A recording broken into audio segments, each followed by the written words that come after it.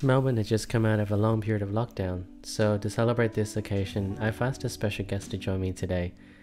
You've heard me mention the story of how I got into cooking before, so I thought I would invite the person who introduced me to cooking to help today. This is my sister. She will be helping me with the recipe. Today we're making seafood clay pot, one of the many classic dishes that you can find at most Chinese restaurants. If you like seafood, you will like this dish. For the ingredients, you need 7 sugar snap peas, 5 baby corn, 1 carrot, half an onion, ginger, garlic, half a pack of silken tofu, 300 grams of prawn, 200 grams squid, and 200 grams of fish fillet. For the sauce, you need 1 cup of chicken broth, 1 teaspoon of white pepper, half a teaspoon of salt, 1 tablespoon of sugar, 1 tablespoon oyster sauce, 3 teaspoon of potato or cornstarch, 2 teaspoons sesame oil, and Chinese cooking wine. First, let's prepare the sugar snap peas. There are string on both sides of the peas, so all you have to do is break the tips of both ends and pull it down, then cut them in half.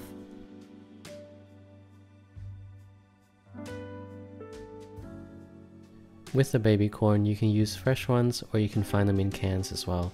If you are using canned ones, strain the liquid and wash them. If you are using fresh baby corns, you need to blanch them with the rest of the vegetables.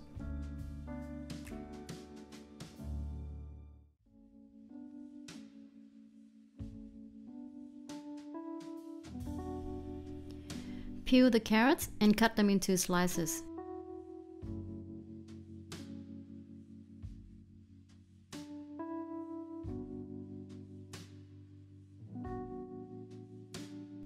To make it a little bit prettier, you can cut it into flowers using the method here.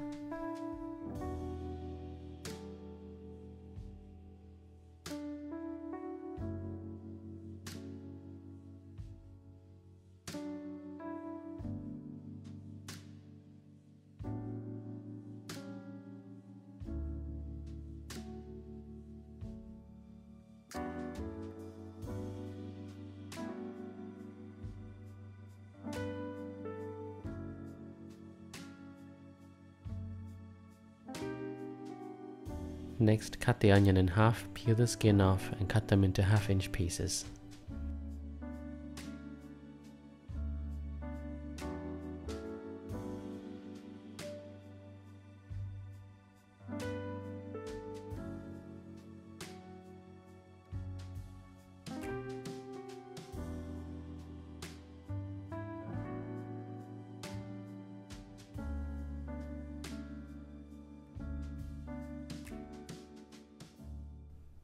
With the squid, clean and remove the insides. Using a sharp knife, score shallow diagonal cuts in a crisscross pattern on the inside surface, and then cut into bite-sized pieces.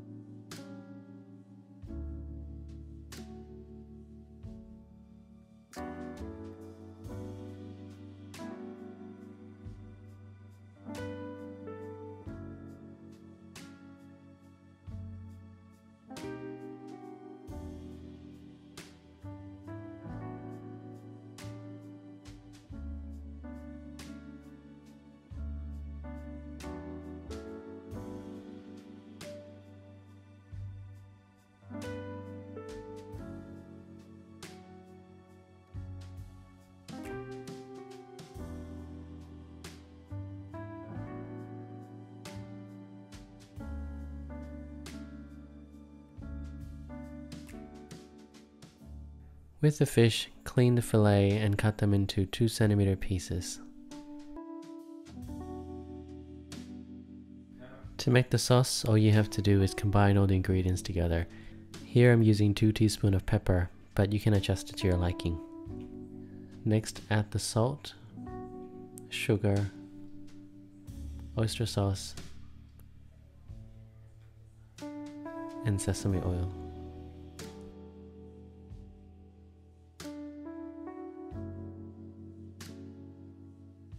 Finally, add the potato or cornstarch and stir it well.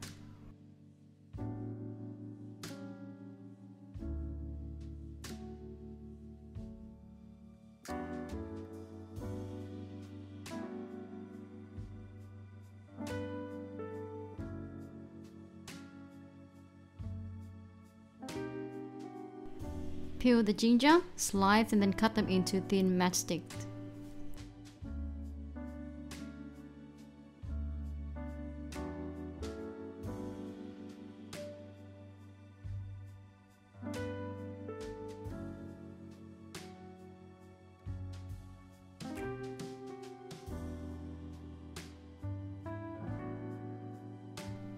Peel and finely chop the garlics.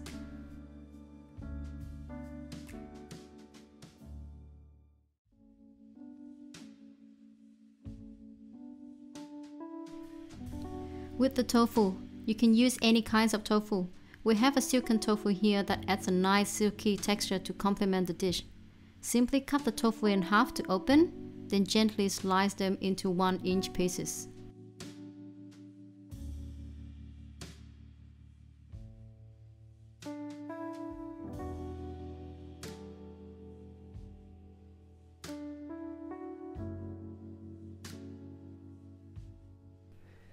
Next, let's boil some water in a pot to blanch the vegetables. Here's a little tip for blanching vegetables. Add about a pinch of salt and a teaspoon of oil in. This will help keep the vibrant colors of the vegetables and keep them crispy. This might take some time, so go get yourself a snack. I will because it's snack break. I have another special guest today. This is my nephew. He loves snacking, so he's excited to try this new honey butter flavor snack special cheese edition. If you like honey butter chips, you will love this cheese edition flavor. If you've never had it before, it's sweet, buttery with a hint of honey. So basically it's rainbow, sunshine and everything nice.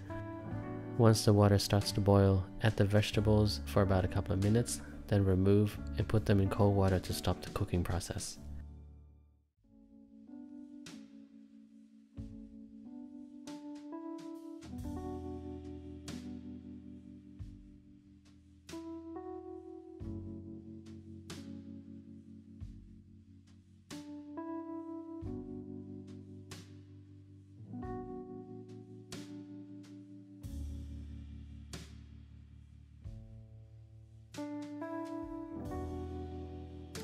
Repeat the process with the squid, but add a pinch of the sliced ginger. This is called blanching. This method is good to prep the ingredients so they cook faster in the end. It also helps to get rid of any fishy or meaty smell from seafood and meat. For this dish, this will also prevent too much water coming out the squid and dilutes the sauce when you cook it later.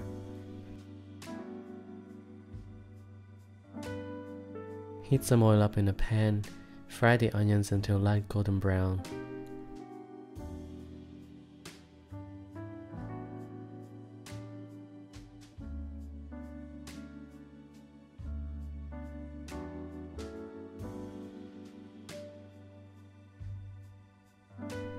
the ginger and garlic and fry until aromatic.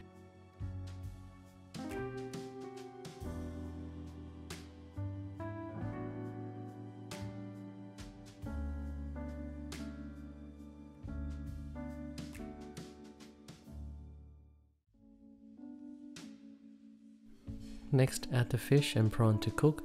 We're cooking the squid a little bit later on because we've already par cooked it with the blanching process.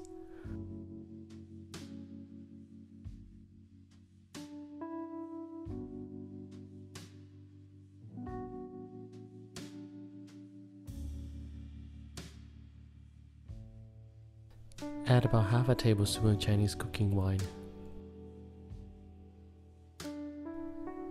Add the squid and stir fry for about 3 to 4 minutes.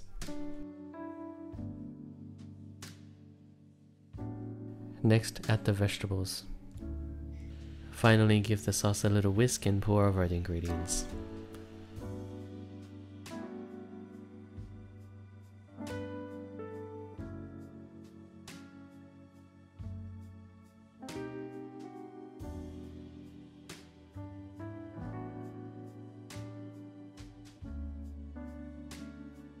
Stir for a few minutes until the sauce thickens.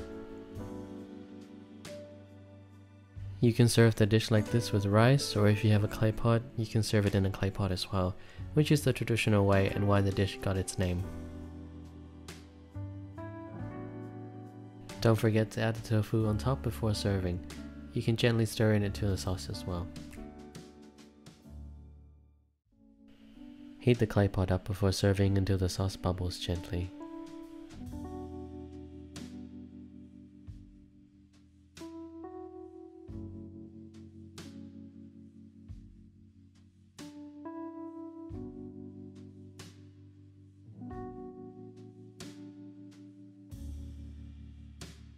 We hope you enjoy this recipe. If you liked the video, give it a thumbs up and subscribe.